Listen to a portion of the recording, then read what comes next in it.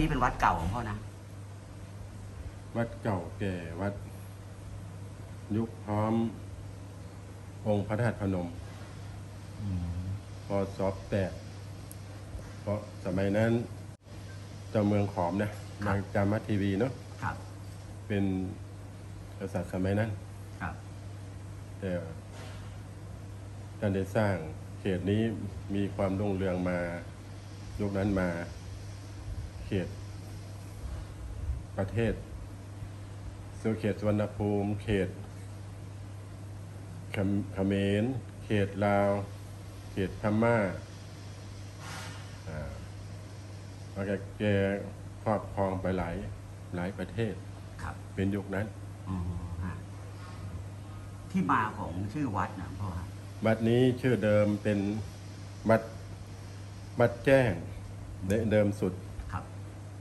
เป็นวัดแจ้งต่อมาหลวงพ่อ พระครูกิตติมศักดิ์ท่านเป็นคนเผ่าเผ่ากุลาครับเผ่ากุลาเป็นเอ่อท่านคนดูทางเกษตรวิสัยทางฝั่งโน้นท่านมา มาครองครองเขตนี้มาเป็นมาชื่อวัดชื่อเดิม เป็นวัดแจ้ง สมัยยุคยุค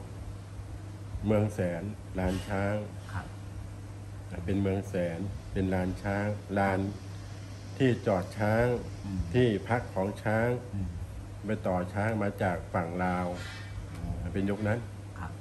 แสดงว่าที่นี่ช้างเยอะสมัยก่ออ่านเป็นใช่สมัยก่อน แต่ย้อนไปยุคก่อนครับ คือหลวงพ่อที่พระหลวงพ่อลูกแก้วนี่ถ้าคนฝั่งลาว คนฝั่งเวียงจันทร์เชื้อเวียงจันทร์มาอ๋อเชื้อเวียงจันทร์ครับเผ่าลาวอืม เป็นเผ่าของฝั่งโน้นอืม แต่ฝั่งนี้เป็นเผ่าของข่าครับ เมืองข่าอืมนะเมืองข่ากับเมืองขอมเป็นมันจะเป็นเมืองขอมทีหลัง ครับเมืองข่ามาก่อน ครับเป็นพวกยกข่ามาก่อนมาถึง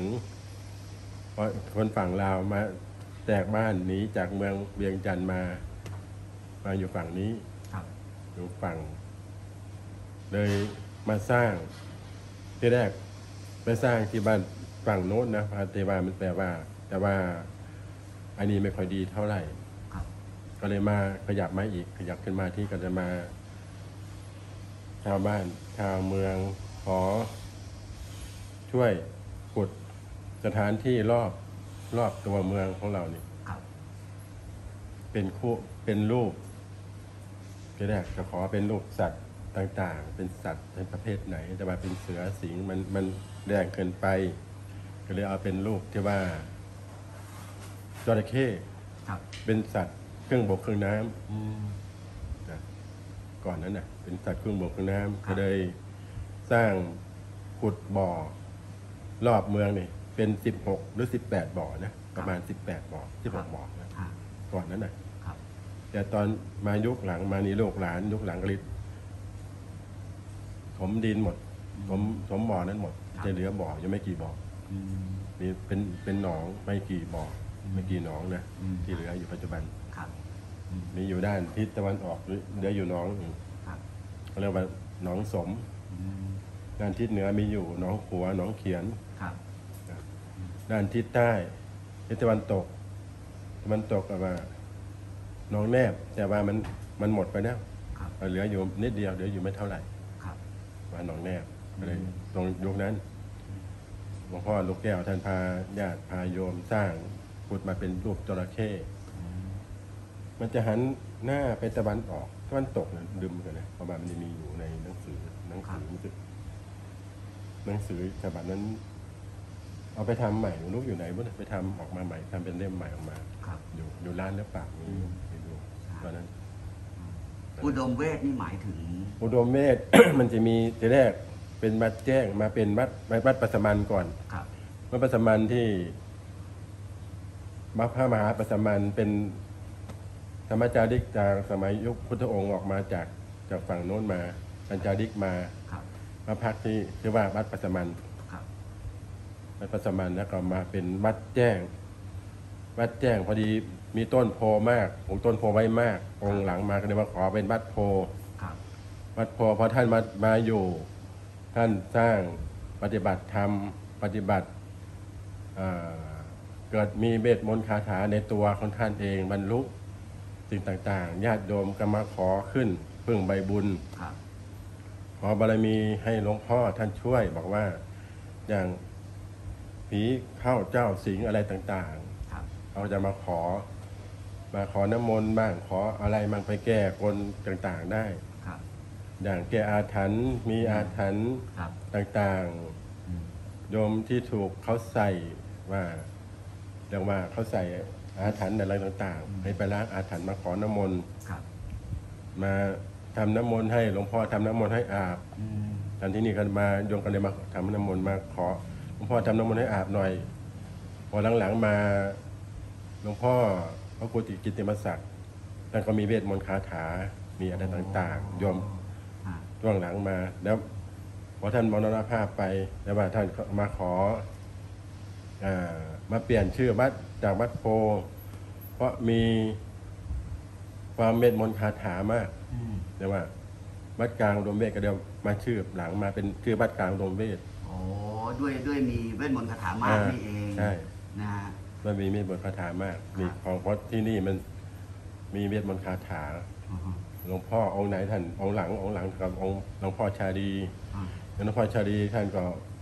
โยมไปนิมนต์ท่านมาจากตำบลนันวันบ้านคำพระครับตอนนั้นท่านบวชอยู่ที่บ้านคำพระครับให้มาทันมาจำพรรษาที่พศ2400 กว่ามาถึง 500 พอที่ 507ท่านเข้ามาตะบูรณะองค์พระธาตุครับองค์พระธาตุจะเป็นมันจะเป็นดิน ก้อนอิฐพังเฉยๆนะพังลงมาเฉยพังลงมาๆนะใช่ อ๋ออันนี้เคยพังลงมาแล้ว ใช่เออมันเป็นของเก่าที่มันเป็นก้อนอิฐเฉยๆไงอ๋อ เป็นก้อนอิฐอ่าหลวงพ่อมาพศซึ่งพศ2507แต่มันทำองค์พระธาตุครอบโอ้ครอบเอาไว้ อ่าอ่าอ๋อตอนตอนก่อนนี่มันเป็นอิฐเฉยเออเป็นกองอิฐๆก องอิฐเฉยเออเป็นแต่กองแต่แต่ปกติถ้าถ้าเป็นสมัยก่อนที่สร้างเนี่ยน่าจะเป็นพระธาตุใช่ไหมครับ เป็นพระธาตุที่เป็นเป็นพระธาตุ เออเป็นพระธาตุ แล้วพังลงมา เออนะก็เหลือแต่อิฐเหลือแต่กองอิฐไง เหลือแต่กองอิฐแล้วก็เลยมาสร้างครอบไว้ สร้างครอบเอาไว้ตอนนี้ก็เป็นอิฐเป็นอิฐอยู่ด้านในด้านใน ใช่ด้านตรงนี้เป็นเอ่อถือว่าเป็นสถานที่ศักดิ์สิทธิ์ของวัดเลยไหมครับของอำเภอ ของอำเภออ่าตรงนี้เลยจุดตรงนี้ตรงเนี้ยจุดนี้เก่าแก่ขนาดไหนเก่าแก่ก็ถ้า เห็ยุนคพว่าระธาตุเทียบกับพระธาตุพนมได้ใช่เลยเป็นน้องของพระธาตุพนม น้องของพระธาตุพนมแต่ย้อนไปอีกคือพระธาตุพนมทางฝั่งขอม ฝั่งขอมฝั่งที่อยู่ฝั่งเขมรใช่ไหมนะครับในฝั่งขอมเป็นเป็นฝั่งนี้ ฝั่งครับขอมนั้นฝั่งลาวครับฝั่งลาวก็ได้สร้างเพราะลาวท่านฝั่งององค์เป็นภูเขาอ่าอะไรนะลืมชื่อภูเขาที่สร้างพระธาตุพนมเนี่ยครับเป็นภูเขาเป็นตรงนั้น สร้างขอสร้างตอนนั้นทางนี้มาจะไปสร้างด้วยอืม บ้านไปจะไปสร้างพระธาตุพนม ครับ แต่ว่าไปไม่ถึงมายินข่าวทางโน้นเขาเสร็จแล้วอืม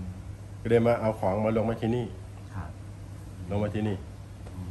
เป็นธาตุองค์เก่าองค์องค์ก่อนครับ เป็นยุคพร้อมพระธาตุพนมเลยเป็นองค์น้องกันมา อันนี้เริ่มอบูรณะเนี่ย ปีไหนอะฮะ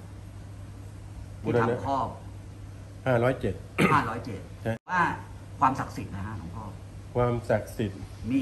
คำล่ำลือขอเรื่องอะไรแล้วความศักดิ์สิทธิ์เป็นยังไงอะขอโยมอยากได้อะไร